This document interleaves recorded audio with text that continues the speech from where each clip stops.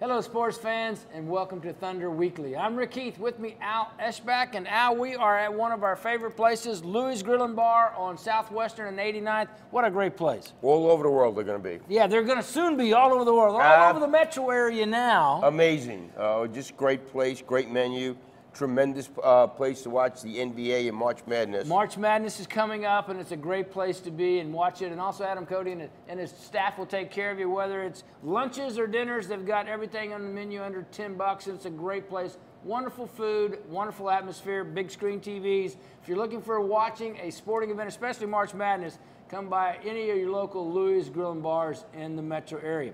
Al, it looks like the Thunder have kind of righted the ship. They're, they're playing much better now than they were in that losing streak. Well, yeah, I mean, a really embarrassing loss to LA Lakers in LA. I mean, that, that where the defense, uh, uh, you know, two straight games where, you know, Gerald Green goes off over 40, and then uh, for Phoenix, and then Jodie Meeks with the Lakers goes off over 40, with the perimeter defense was just absolutely horrific. Yeah, they had the stat where the, on, the only perimeter defense worse than the Thunder were the Philadelphia 76ers. You don't want to be in the same company as the 76ers. You don't even want to be in that same sentence with the 76ers. They are the absolute worst in the NBA. But, you know, the last two victories uh, last week, good victories. They beat the Rockets in a good way, and I want to talk a little bit more about that. But, you know, they, they, they've got Russell Westbrook back, more dynamic than ever, more explosive than ever, and what a difference he makes. Well, despite uh, I get the calls much well, they probably need to tra- trade Westbrook or not start him, whatever. I mean, uh, uh, it, it's kind of funny that there are some people here that simply do not appreciate Russell Westbrook, who's one of the top 10 players in the NBA. Yeah, I mean, and, and that's when he was coming back, and he and when he's playing well, he's one of the top five or six. He's you know? unbelievable. He, you know what he does, and uh, and he, he makes people better. Yes, he does because he's so explosive and gets to the rim, and, and we'll talk more about that. But let me, I want to welcome a new sponsor for Thunder Weekly, Pro Power Equipment at 7405 South May Avenue,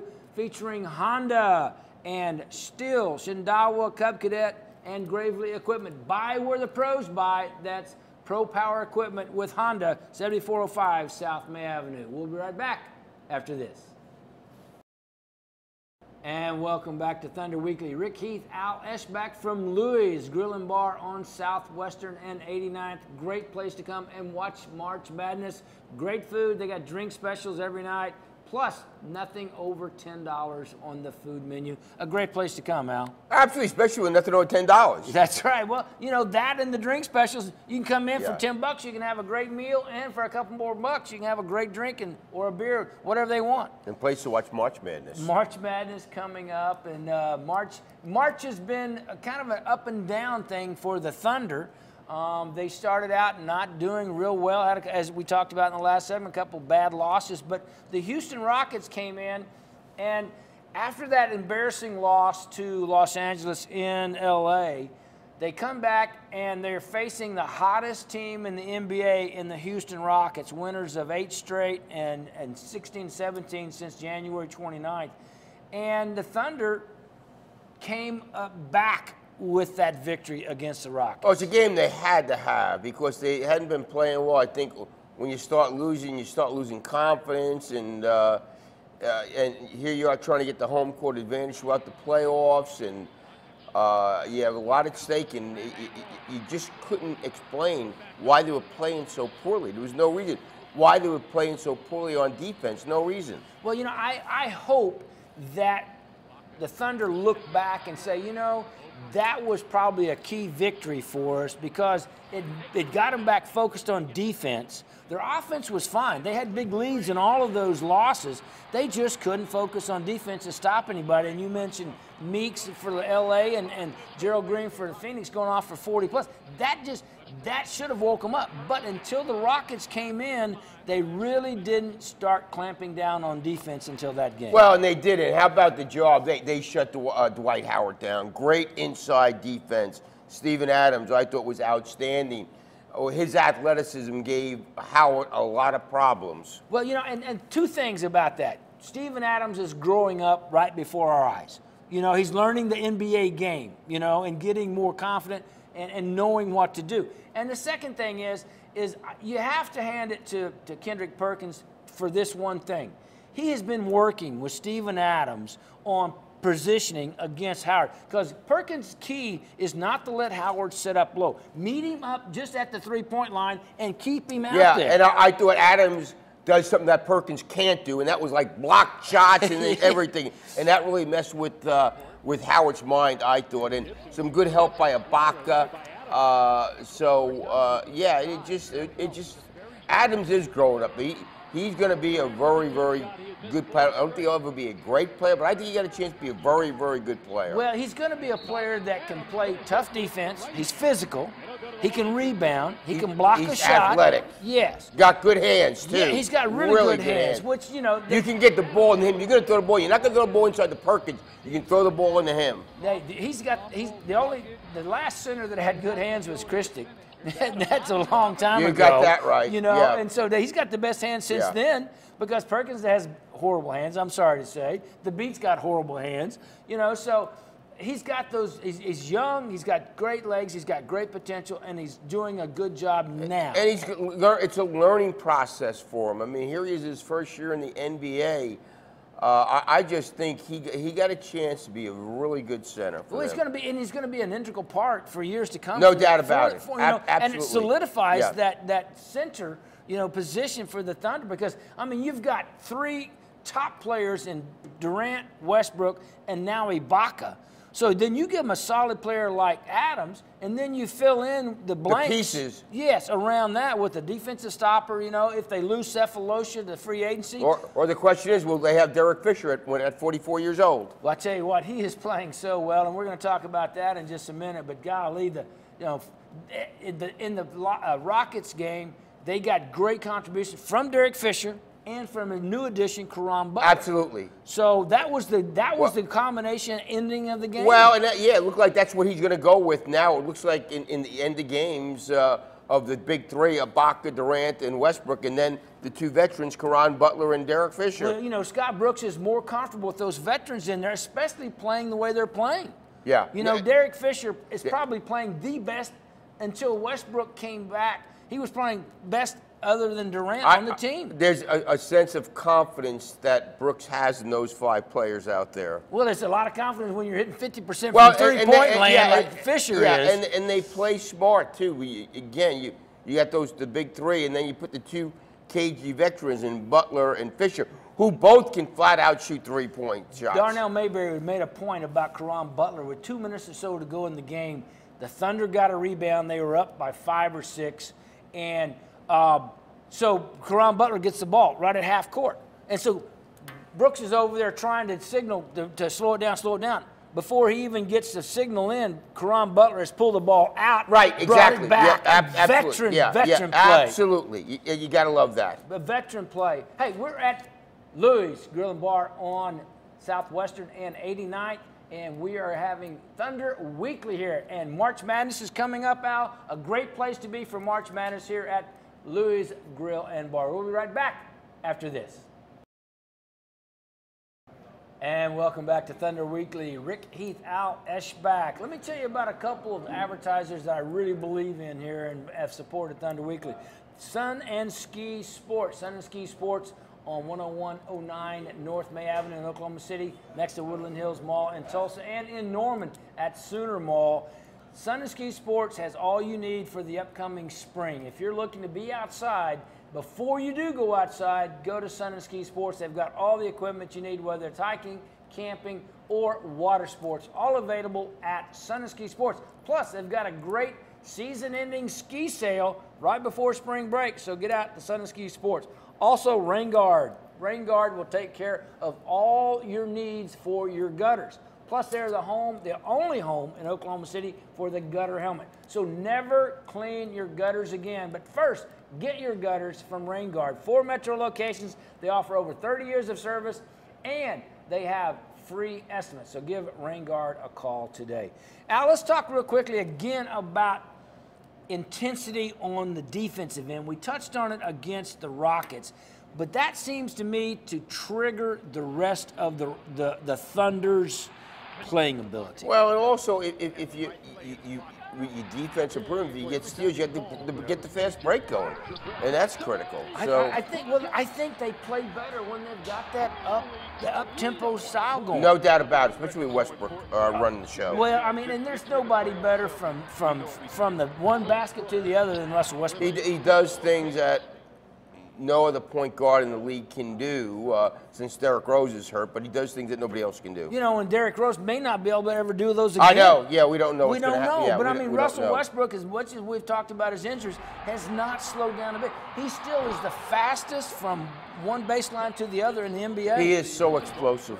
and then My when he goodness. gets to the rim, he can finish. Yeah, yeah, and that or he gets fouled. Or and yeah, he's only 88% free Yeah. throw shooter. Yeah. You know, and so with with what the Thunder are doing right now, they bring the intensity on defense. The offense takes care of itself because they get turnovers on off of defense, they get fast breaks off of defense, and that triggers everything else. And I think that's the one thing that they had to get back to, and that's what they did against the, the Rockets and the Lakers. Yeah, and, and I I thought it was kind of interesting that Patrick Beverley tried to get under Westbrook's skin in the Rockets game, and it shows the maturation of Westbrook because uh, the game before in LA, he just exploded, got a technical, and I wouldn't be surprised in that Houston game if, if Kevin McHale, the Houston Rocket coach, said, Hey, Patrick, see if you get under his skin. Because look what the Lakers did and look how it works. Yeah, and so they were trying, and, and like you said, credit to uh, Russell Westbrook. He goes, "Hey, I'm just going to beat you with my game. I'm not talking. I'm not flapping my lips. I ain't going to beat you with my game." He goes off on him,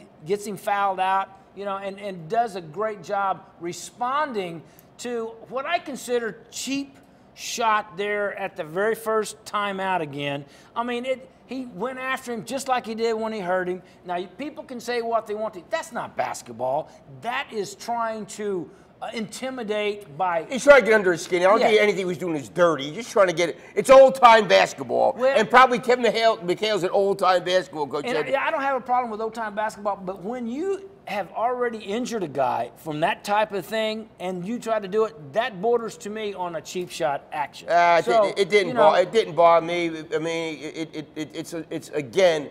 They're trying to get under his skin, and, and Westbrook did the right thing. Westbrook was really cool. You know, he sat down after the thing happened, Yeah. and then he came back up and he just said, "Okay." And Brooks did a me." good job of setting him down. Absolutely I did a- thought that he did a great job. You know, and so now they've got you know the Batman and Robin of, of the Thunder are back. Well, and I, I, you know what's going to be interesting to see play out in, in these the last few games in, in the uh, playoffs is I think Jeremy Lamb, I think he's out. I don't think he's going to get many minutes at all. Critically, Reggie Jackson, don't know uh, because his defense just hadn't been. Like I said, late in games we saw now he's on the bench. So let's. I want to see what the role Reggie Jackson plays uh, here down you know, the and, stretch. and, and so you're right because as we said earlier in the segment, Scott Brooks is more comfortable with Derek Fisher and Caron Butler and the big three. Yeah. At the end of the game. Yeah. That's it. That's his finishing team. When the when the minutes mean something and the game is on the line, that's who he's comfortable with having in there. well, it, that's five pretty intelligent players also. yeah. Is it not? Two of the most dynamic offensive players. You got the number one shot blocker, and you've got two veterans that have won championships. Well- and in case of, of Derek Fisher, multiple championships. Yeah, uh, it, it, it is totally amazing. Uh, you know, you look at surprise in this team. The biggest surprise may be Derek Fisher, the way he's played this year. I, you know what? When they brought him back, I thought, okay, so he's going to be a bit player. He's become a dynamic defender. yeah, Again. exactly. That's exactly because you know what? He's like a bulldog. He gets out in front. That Reggie Jackson needs to learn from Derek Fisher. Reggie Jackson should be an outstanding defensive player because he's so athletic and long. And he should be able, and we'll talk more about that in the next segment. But let me tell you, are you hungry for real Mexican food? Well, here's a new place for you El Ranchero Mexican Restaurant in Norman. It's at 3042 South Classen Boulevard, uh, south of Highway 9, uh, just to the south of the new Buffalo Wild Wings and across the street from McDonald's. They have great, authentic family recipes featuring chili rellenos, enchiladas, and more. And they have their grand opening again this weekend where they're having half price dinners. Go by El Ranchero Mexican restaurant in Norman, 3042 South Classen Boulevard. You won't regret it. It's great Mexican food. We'll be right back after this.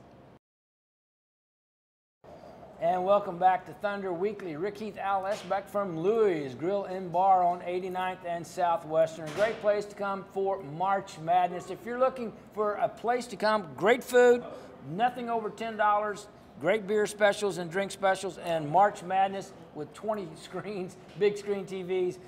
Louie's Grill and Bar is a great place to come. And they're all over the place uh, in, in, the state of Oklahoma. And it is. It's, it's a great place. It's been around for a while. The first Louie's on Campus Corner in Norman, and uh, you can you can find the Louis guy here too occasionally. Uh, if you were looking for the Louis guy, come by this Louie's locations or any of the metro locations and find the Louis guy. He's giving away free stuff during March Madness. So come by and look for the Louis guy. Let me thank some more sponsors for Thunder Weekly. The Trails Golf Club in Norman. The Trails great great place for you and your family for spring of 2014. If you're looking for a place for the family to play golf on a championship location and a great club atmosphere and family atmosphere, give the Trails a call at 360 1920. That's the pro shop, or you can give Kathy Hess a call at 364 3790 for membership specials. That's the Trails Golf Club in Norman.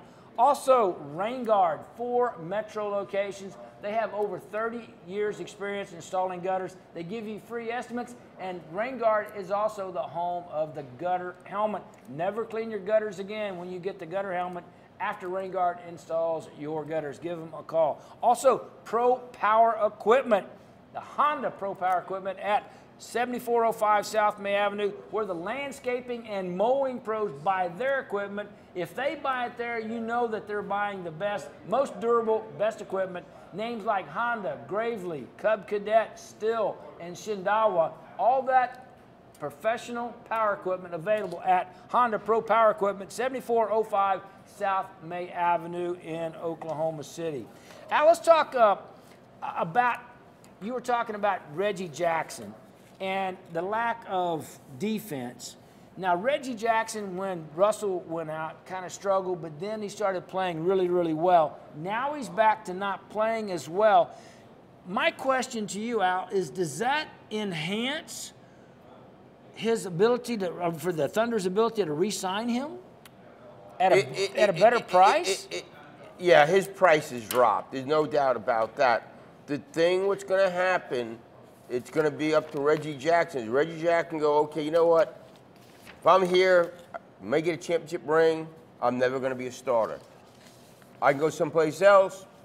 Maybe not get a championship ring, but I can be a starter. So I, I, as the season kind of go, goes dilemma. along, I kind of think he's going to uh, leave. That would be that would be my guess. Well, you know, and if that happens, if they can't resign him to extension, I would think they would trade him uh, sometime next year before the trading deadline. It would just that's my guess. But if he, it's up to what Reggie Jackson wants. But his minutes are dwindling. Yeah, you know, and and I don't, you know, Jeremy Lamb was projected, and they played him a little bit to start of the season as a backup point guard. I'm not sure he can handle that, but that would be an option if Reggie Jackson left. But I think it's going to come down. He's not going to get a big contract like he was hoping for as a free agent. So maybe he does, you know, sign a three-year deal and, and gets more more experience and becomes a better guard, and then signs the big contract. Yeah, again, it's going to depend on what his mindset is on on the whole thing. So. Uh, I, am sure he's not happy in late game situations that he's not in there now. Well, you know, and, and that's just, you know, he, he's not playing a good enough defense to do that. That's exactly right. You know, when, when he's a young guy under 25 and is not playing that defensive intensity that a 39 year old well, Derek Fisher, and, and, 40 year old Derek Fisher. And that's the same with Jeremy Lamb. Same yeah. thing with, with both those guys. You know, and somebody that's given some good quality minutes has been Perry Jones here lately. Absolutely. Yeah, I, I've been pleased what he did. And, did some nice defensive things early on Harden when the Rockets were in town. Well, I tell you what, now if he could just make that corner three-point shots, you know, consistently, give him a 35 to 38, 40 percent three-point shooter, he would be a really a valuable piece. Another Baylor guy who underachieved in college. Yeah. Now I want to go over. Yeah, no kidding. In college and gets out and he's really, really. Yeah, he's a good player. Uh, good player. Um, I want to go over uh, the CBS top 10 power rating in the NBA with you real quickly. Now, this was last week before the Rockets played the Thunder, but they had the Rockets number one in the NBA because they had the best record since January 29th. Well, they don't know what they're talking about because San Antonio has been playing better than anybody else in the league. and that you know, but that's they were kind of on a weekly by week basis, and they Yeah. thought they thought. But you're right. I think San Antonio. Golly, how tough are they all the time? You Well, they're, they're, they're real tough. I mean, they're just everybody's, well, they're getting older. They can't do this, can't do this. People keep on forgetting. If they hit a free throw, they're the world champions right Last now. year, yeah. right. They- they- They're so people forget champions. just a year ago. Yeah, you know, um, the Indianapolis and Miami had some losses, same as the Thunder, so they've dropped down in that thing. And they go Houston Clippers, Spurs, which we talked about, Miami, Indy, then Thunder. I think that's kind of where the Thunder were because they weren't playing. They were well. then. Now they're they're Yeah, you know yeah, uh, that's- Miami's lost four out of five. Yeah, and so now Miami's dropped. Yeah, Now, you know and the Miami can Pacers are struggling. That. Pacers are struggling. Yeah, you know, the Pacers are struggling, Clippers so- are on fire. Yeah, Clippers, the Clippers are really. you know, they may be. That, that's going to be tough any way you look at it. Hey, that's going to do it for this week's show. Rick Heath, Al Eschbach. Follow us on Facebook at Joe Fan Sports. That's going to do it for this week's Thunder Weekly. Oklahoma City team injured. And now with a turnover and Rush. That is the way you say welcome to Oklahoma. That's how you say it. Just like you looked at the crowd and said that Robinson has his hand on the ball.